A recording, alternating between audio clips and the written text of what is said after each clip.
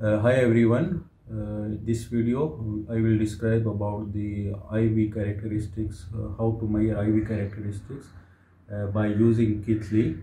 So uh, in order to measure IV or uh, CV characteristics, we can use Keithley 4200, we can use Keithley 2450 and similarly we can use semiconductor parameter analyzer. But in this video we will describe about the Keithley 4200 so I will show you how to uh, use how to set your sample on the probe station and then after how to measure the IV characteristics. So uh, on this screen you can see the probe station where we will put our sample and probe.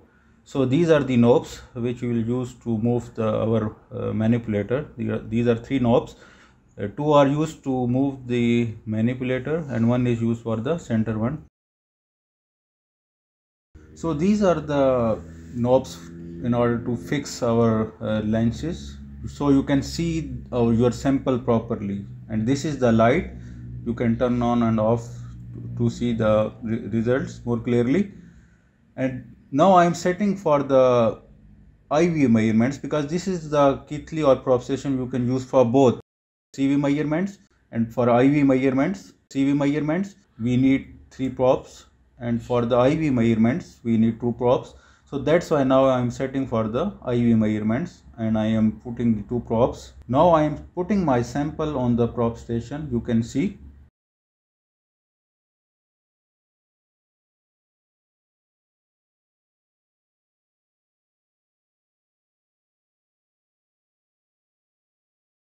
Now with the help of microscope, I will probe the needles on the desired points so as you can see now I am moving the needles with the help of manipulator.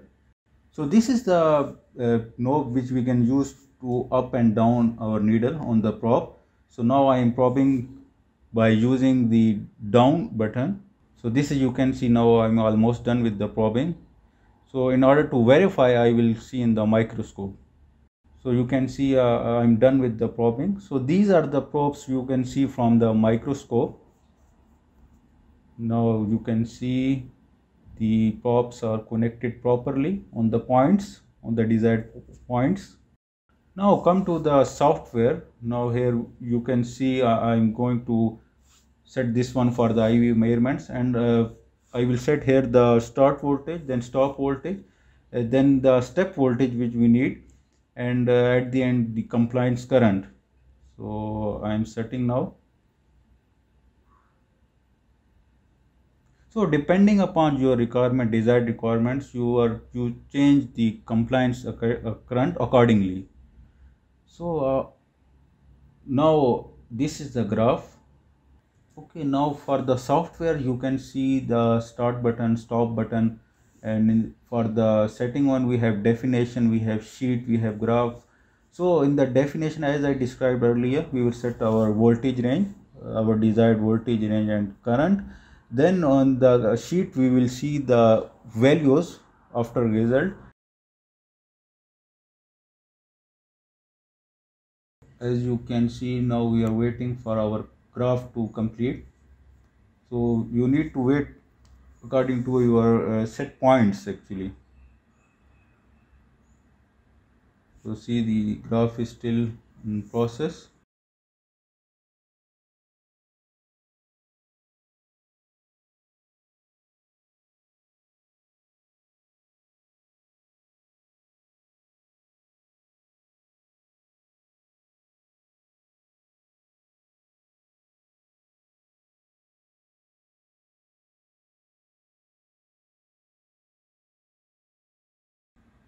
so now here you need to save your results. You will save your results in your folder in your desired folder and set the location. Now save all and we will close this one. So after completing after taking the measurements you will remove your sample.